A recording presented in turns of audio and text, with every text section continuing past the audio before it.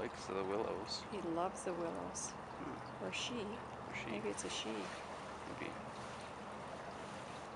Uh, It said on Wikipedia that they like um, small aquatic animals too. But Really? 95% of, yeah, 95% of its diet is um, uh, vegetable.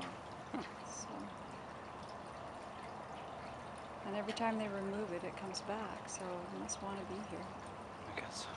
Looks pretty chubby. It doesn't look like it's starving anyway. No. Cute little guy.